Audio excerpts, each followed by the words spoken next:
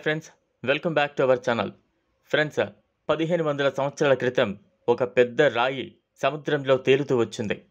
ఆ రాయి ఎక్కడిదో ఎవ్వరికీ తెలియదు. కానీ దానిపై ఏదో రాసి ఉంది. అదేంటో ఎవరికీ తెలియడం లేదు. ఒకరోజు ఒక సైంటిస్ట్ వచ్చి దానిని గమనించగా అది రామాయణం నాటి రాయని దానిపై ఉన్నది స్వయాన రామాయణ కథ అని తెలిపాడు. అంతేకాదు అది స్వయాన హనుమంతుడే రాసిన రామాయణ కాండం. అయితే అప్పుడది కొంతమంది మాత్రమే తెలిసింది. ఆ తర్వాత దానిని రామాయణంలో లిఖించడంతో ప్రపంచానికి తెలిసింది. ఇంతకీ హనుమాన్ ఆ రాయిపై రామాయణం ఎందుకు రాశారు? ఆ రాయి సముద్రంలో ఎలా కలిసిపోయింది? అనే వివరాలు తెలియాలంటే ఈ వీడియోను ఎక్కడా స్కిప్ చేయకుండా పూర్తిగా చూడండి. ఈ వీడియోను ఇప్పటివరకు లైక్ చేయకుండా ఉంటే ఇప్పుడే ఒక లైక్ వేసుకుని ఇలాంటి కొత్త జెన్యూన్ అప్డేట్స్ కోసం మా ఛానల్ని సబ్స్క్రైబ్ చేసి బెల్ సింబల్ను ప్రెస్ చేయండి.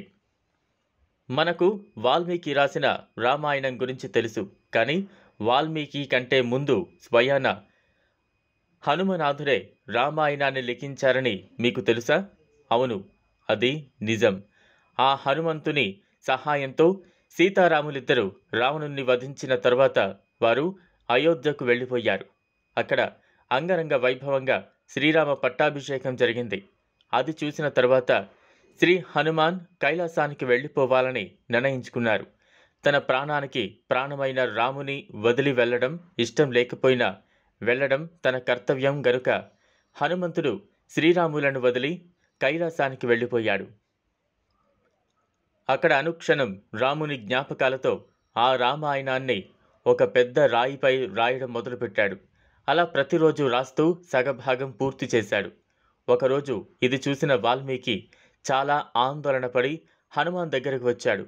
హనుమాన్ ఏంటి స్వామి అలా ఆందోళనగా ఉన్నారు? అని అడగ్గా నేను రామాయణాన్ని ఎంతో శ్రద్ధగా రాస్తున్నా. కానీ ఇప్పుడు నాకన్నా ముందే నువ్వు రామాయణాన్ని లెక్కిస్తే నేను రాసే రామాయణానికి విలువ ఉండదు. నా జీవితాశయమే రామాయణాన్ని నా చేతుల ద్వారా ఈ ప్రపంచానికి పరిచయం చేయడమే అని బాధపడ్డాడు.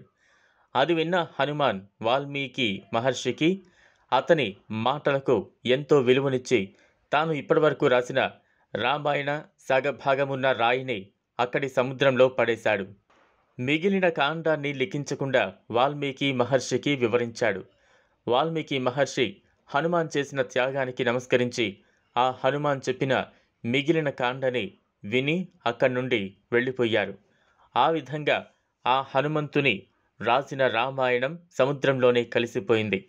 అది బయటకు రావడంతో ఆ హనుమంతుడు స్వయంగా మొదట రామాయణాన్ని రచించారని మనకు తెలిసింది. అదే హనుమంతుని గొప్పతనానికి త్యాగానికి నిదర్శనం. అందుకే ఒకసారి కామెంట్లో జై శ్రీరామ్ జై హనుమాన్ అని రాయండి. ఈ వీడియోపై మీ అభిప్రాయాన్ని కామెంట్ చేయండి. ఇది ఇవాల్టి వీడియో ఫ్రెండ్స్. మరొక న్యూ అప్డేట్తో మళ్ళీ మీ ముందుకు వస్తా. అంతవరకు సెలవు. ఈ వీడియో కనుక మీకు నచ్చినట్లయితే లైక్ చేయండి షేర్ చేయండి. మరిన్ని లేటెస్ట్ అప్డేట్స్ కోసం మా ఛానల్లో సబ్స్క్రైబ్ చేసుకుని మా నుండి వచ్చే లేటెస్ట్ వీడియోస్ను నోటిఫికేషన్స్ ద్వారా మీ మొబైల్లో పొందవచ్చు.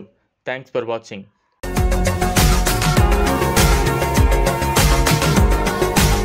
మరిన్ని అప్డేట్స్ కోసం మా ఛానల్ని సబ్స్క్రైబ్ చేయండి.